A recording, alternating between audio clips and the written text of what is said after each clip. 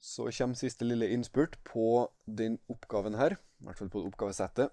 Skisser også styrkefunksjonen for testen, og finn spesielt styrken for P er lik 0,80. Og jeg synes vi skal gjøre det her først, for da har vi jo flere verdier å gå på når vi skal tegne styrkefunksjonen, i hvert fall skisseren. Så en av verdiene vi har allerede, og beta er for, forresten det vi bruker for styrkefunksjon, i hvert fall det vanlige. For 0,7 så er den jo lik alfa, altså 0,05. Det er jo eh, signifikansnivået vårt. Men det vi skal finne i denne oppgaven her, det er jo beta av 0,8. Og den finner vi ved å regne ut følgende sannsynlighet. Og det er sannsynligheten for at p-hatt blir større enn den kritiske verdien vi fant i forrige video, 0,753. Gitt da at p er lik 0,8 den skal være i det tilfellet her. Og det her blir da det samme som sannsynligheten for at estimatoren for den stokastiske variabelen blir større enn n ganger p hatt, for det er jo da snakk om estimatorer. Så det blir 200 ganger 0,753, som min kalkulator forteller meg er ca. lik 150,6. Og det er da fremdeles gitt en p-verdi på 0,8.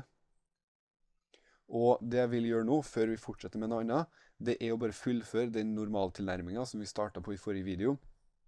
Der hadde vi jo fylt inn for liten n, men vi hadde ikke fylt inn for p. Nå skal vi bruke p-verdien 0,8. Så vi kan gjøre normaltilnærming på den stokastiske variabelen. For n, og det første er jo da n ganger p, som da blir 200 ganger 0,8 det er 160. Og så blir det da det her som er 160 ganger 1 minus p. P er fremdeles 0,8, så det blir 160 ganger 0,2. Og det er 32, for det er jo bare en femdel av 160. Eh, gå bort, vær så snill. Det var ikke sikkert du så så mye av det, det var Steam-vinduet. Uansett, det har ikke så mye med saken å gjøre. Det vi kan gjøre nå, det er å regne ut den sannsynligheten her ved hjelp av normaltilnærminga. Så det vi er ute etter da, det er rett og slett sannsynligheten for at y blir større enn 150,6. Og vi har gjort det her i hvert fall noen oppgaver siden, så gjorde vi det ved å bruke eh, fordelingsfunksjon for normaltilnærminga, eller for normalfordelinga, mener jeg. Og det første vi gjør da, det er å innse at sannsynligheten for at det her skjer, det er jo det samme som 1 minus sannsynligheten for at det omvendte skjer. Og det er jo da sannsynligheten for at y blir mindre enn eller lik 150,6. Og forhåpentligvis så kjenner vi igjen den sannsynligheten her som store F, altså fordelingsfunksjon, for den verdien her. Altså 150,6. Og 50,6. Og når vi har gjort en sånn her normaltilnærming, eh, så kan vi jo bruke det som står på et formelark, hvis vi finner det.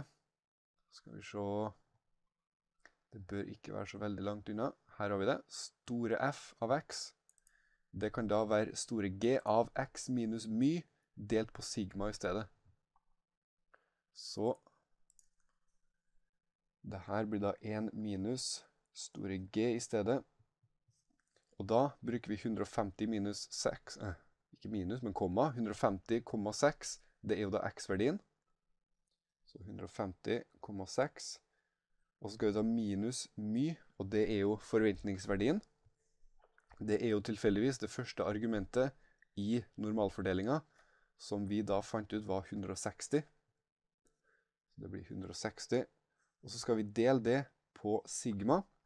Og husk at det vi bruker som andre, eh, det andre argumentet her, det er variansen.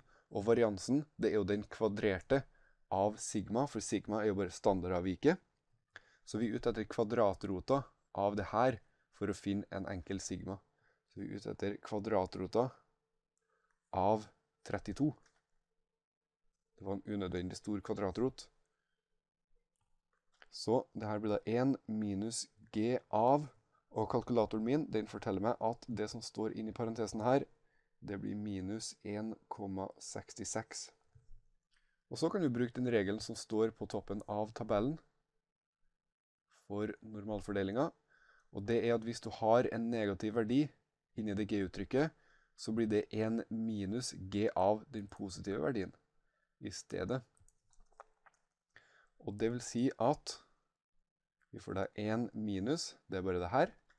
Og så skal vi bytte ut g av minus 1,66 med 1 minus g av positiv 1,66. Og det blir da bare g av 1,66. Hopp over noen små steg her. Håper du kan løse opp parentes, selv om det står minus foran. Og så kan vi jo igjen se i tabellen og finne 1,6 her og 0,06 her. Adderer vi dem, så får vi jo 1,66. Så de møtes, og vi får 0,9515.